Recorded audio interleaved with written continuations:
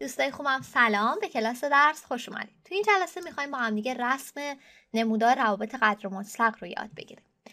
خط و با یه مثال هم بچه ها شروع می‌کنیم.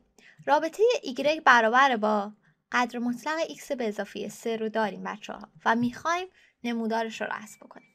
برای اینکه شروع به رسم این نمودار بکنیم اول یه مرور کوچیک از اون چیزی که تو جلسات قبل یاد گرفتیم و بکنیم بچه ها. دیدیم که قدر مطلق یه عبارت مثلا قدر مطلق x برابر با خود x وقتی که x بزرگتر از صفر باشه برابر با صفر وقتی که x مساوی صفر باشه و برابر با منفی x وقتی که x کوچکتر از صفر باشه. حالا اون چیزی که ما یاد گرفتیم و دقیقا می‌تونیم بست بدیم تا ببینیم قدر مطلق x به اضافه 3 چه رابطه با x به اضافه 3 داره. یعنی که قدر مطلق x به اضافه 3 برابر میشه با خود x به اضافه 3 وقتی که x به اضافه 3 بزرگتر از صفر باشه. که این دقیقا وقتیه که x بزرگتر از منفی 3 باشه. و x به اضافه 3 قدر مطلقش برابر با صفره. وقتی که x به اضافه 3 برابر با صفر باشه در واقع x برابر با منفی 3 باشه.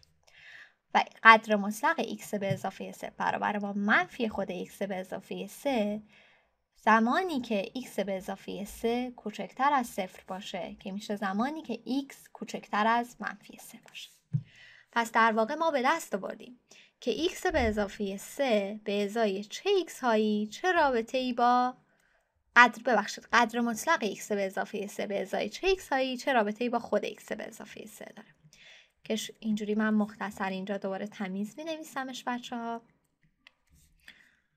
به ازای x برابر با منفی 3 و برابر من خودم الان اینجا منفی رو توی پرانتز ضرب می‌کنم میشه منفی x منهای 3 به ازای x های کوچکتر از منفی 3 حالا ما این در واقع یک فرایند سرراستیه که ما این سه تا رابطه رو با هم بکشیم و بشه نمودار قدر مطلق x به اضافه 3 اجازه بدید من محور مختصات رو بکشم.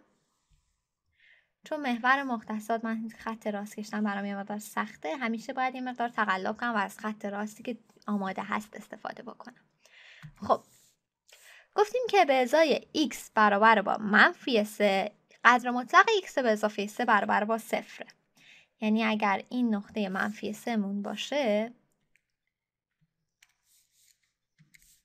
تو این نقطه قدر مطلق x به اضافه 3 برابر صفر ولی از طرفی به ازای x های بزرگتر از منفی 3 قدر مطلق x به اضافه 3 برابر میشه با خود x به اضافه 3 که تقریبا فکر کنم کشیدن خط x به اضافه 3 کار سختی نباشه.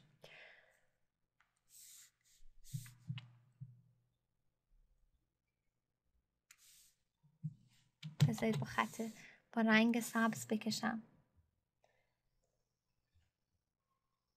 خب. اما به ازای x های کوچکتر از منفی 3 قدر مطلق x به اضافه 3 برابر شد با منفی برابر با قرینه خود x به اضافه 3 شد که تبدیل میشه به منفی x منهای 3 منفی x منهای 3 یه خط راسته بچه پس ما به ازای x های کوچکتر از منفی 3 اگر خط منفی x منهای 3 رو بکشیم نمودار قدر مطلق x به اضافه 3 رو به ازای x های کوچکتر از منفی 3 به دست آوردیم. کل من کل خط و کل خط منفی x منهای 3 رو نباید بکشم بچه فقط به ازای x های کوچکتر از منفی 3 من یه نقطه دیگه از این خط رو به دست میارم. مثلا به ازای منفی 4 به ازای منفی 4 میشه منفی من به ازای منفی 4 ایگرگ اگه بخوام به دست بیارم بذارید من جایگذاری بکنم. منفی منفی 4 منهای 3 که میشه 4 منهای 3 میشه یک. پس توی نقطه منفی 4 مقدارش یک. حالا با داشتن یعنی می‌دونیم که توی نقطه منفی 3 با مقدارش صفره. امیدوارم که درست خب قابل قبوله. نمودار قابل قبول شد. بچه نگاه بکنید.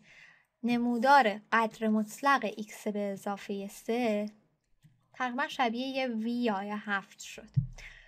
هفتی که توی نقطه منفی سه یعنی وقتی که خود این عبارت صفر میشه محور ایکسش برابر با صفر ایگرگش برابر صفره و قبل و بعد اون شیب خط‌هایی که اون تشکیل میدن تغییر می‌کنه.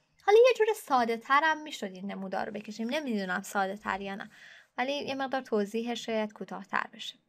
بچه ما از ما وقتی که خواستن قدر مطلق x به اضافه 3 رو بکشیم من اول می‌تونم خود خط x به اضافه 3 رو بکشم. خود خط x به اضافه 3 نمودارش میشه این خطی که من اینجا کشیدم. خب یه مقدار من می‌خوام تمیزتر بکشمش.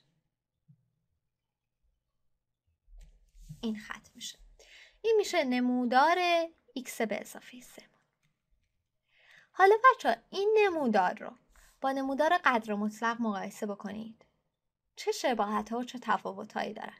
می‌بینید که به ازای x های بزرگتر از منفی 3 نمودار خود x به اضافه 3 با نمودار قدر مطلقش برابره. چرا؟ چون به ازای x های بزرگتر از منفی 3 x به اضافه 3 مثبته. درنچه خود قدر خود عبارت با قدر مطلقش برابره. ولی به ازای x های کوچکتر از منفی 3 قدر مطلقمون یعنی اینجا برابر با قرینه عبارتمون قرینه عبارتم قرینه یک خط و وقتی که ما می‌خوایم بکشیم یعنی وقتی که یک خط ضرب در منفی میشه مثل اینه که قرینه اون خط رو نسبت به محور x ها بکشیم. دقیقا اتفاقیه که اینجا افتاده. به ازای x های کوچکتر از منفی 3 خط x به اضافه 3 نسبت به محور x هامون قرینه شده تا تبدیل به قدر مطلق x به اضافه 3 شده. در واقع ما می‌تونستیم از اول خط x به اضافه 3 رو بکشیم و به ازای نقاطی که y مون منفی میشه قرینش رو نسبت به محور x ها بکشیم تا نمودار قدر مطلق رو به دست بیاریم.